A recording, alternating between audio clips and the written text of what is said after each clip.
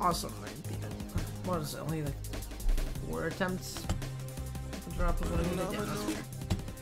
He attempts fast. I think the laser part's definitely the hardest part of this level. Uh, definitely is the hardest learning curve, steepest learning curve, and probably the hardest base gameplay. Okay. Yeah, very few people beat this. It's fun though. Uh, 330 attempts. Yeah, lower end insane demon, but not like anywhere near the border. I thought it was pretty fun. Um, but yeah, I, I the gimmick in the laser part, I could go without it. Honestly, it wasn't particularly enjoyable gimmick to play through. Uh, beyond that, I don't really have any gameplay issues. Uh, other than like, I mean, a bit of off, the, the coin makes off-screen stuff at the. And the, no, in the queue beforehand, there's also a bit of off-screen stuff that I'm not the biggest fan of, but I get the whole concept of elevation change, so it's like whatever.